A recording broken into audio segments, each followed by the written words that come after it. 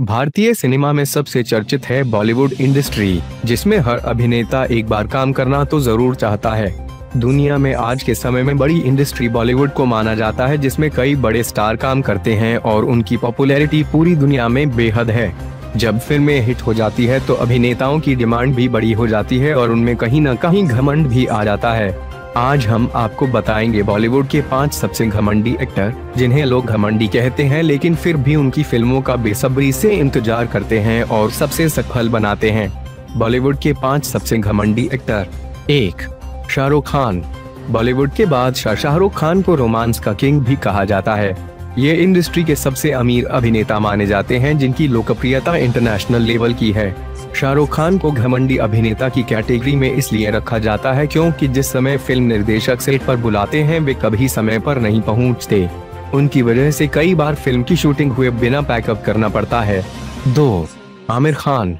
बॉलीवुड के mister perfectionist कहे जाने वाले आमिर खान को स्वभाव से सबसे दरियादिल अभिनेता समझने वालों को बता दें कि आमिर भी घमंडी अभिनेता में से एक हैं। आमिर को घमंडी अभिनेता इसलिए कहा जाता है क्योंकि कई बार ऐसा हो चुका है कि निर्देशक के मुताबिक आमिर नहीं चलते हैं और कभी कभी निर्देशक को अपने अनुसार चलाते हैं।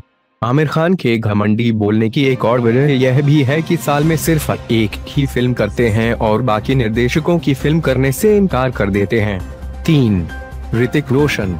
बॉलीवुड हैंडसम हंक ऋतिक का नाम भी इस लिस्ट में शामिल है। इंडस्ट्री के सबसे अच्छे डांसर ऋतिक रोशन का नाम इस लिस्ट में इसलिए आता है क्योंकि ऋतिक रोशन ज़्यादातर फ़िल्मों में उतना ही काम करते हैं जितना उनको पैसा मिलता है। इसके बारे में उनका कहना है कि वे शूटिंग सिर्फ़ आठ घंटे तक ही कर सकते हैं और अगर इससे ज़्यादा समय शूटिंग करनी है तो पैसे भी ज़्यादा लगेंगे। चार, सलमान खान। बॉलीवुड के टॉप एक्टर और सबके भाई जान सलमान खान को भी घमंडी के नाम से जाना जाता है। ऐसा इसलिए क्योंकि सलमान खान के गुस्से से सभी वाकिफ हैं और इससे सभी बेहद डरते भी हैं। जब कोई काम सलमान के अनुसार नहीं होता है तो वे को स्टार्स पर चिल्ला पड़ते हैं। लोगों का ऐसा मानना है कि सलमान खान अपने घमंड की वजह से ही अपने प्यार को खो चुके हैं। पाँच, कपिल शर्मा। कॉमेडियन कपिल शर्मा ने साल 2015 में बॉलीवुड में एंट्री ली थी, जिसके बाद कपिल शर्मा का भी नाम और पॉपुलैरिटी बेहद बढ़ गई। कपिल को घमंडी इसलिए कहा जाता है क्योंकि वे भी बहुत गुस्सा करते हैं और अपने को स्टार से अच्छे से बात नहीं करते।